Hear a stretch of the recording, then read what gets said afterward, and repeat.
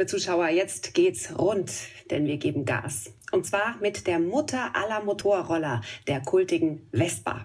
Denn man kann mit ihr nicht nur brav auf der Straße fahren.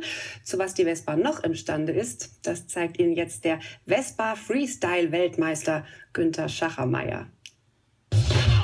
Ob über tiefe Schluchten oder mehr als 40 Meter senkrecht ein Stahlseil hoch oder zig Kilometer ohne Vorderrad fahren, für Günther Schachermeier und seine Vespa ist fast alles möglich.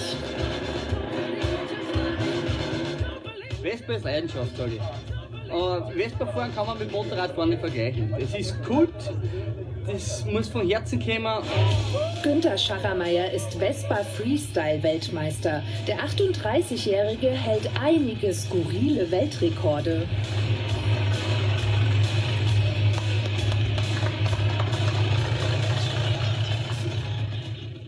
Mache mit der Vespa ganz eigenartige Dinge. Ich bin die Bergisel äh, Sprungschanze hochgefahren mit der Vespa mit 8,3 PS. Bin am Riesenrad in Wien eine Runde gedreht mit der Vespa. Vor kurzem hat mich ein Ferrari abgeschleppt auf dem Flughafen auf eine V-Max-Geschwindigkeit auf 185 Stundenkilometer.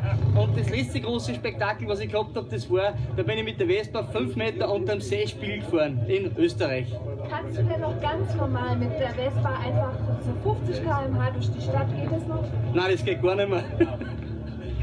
Ganz im Gegenteil. Demnächst will er ganz hoch hinaus. Über 4000 Meter ab in die Troposphäre.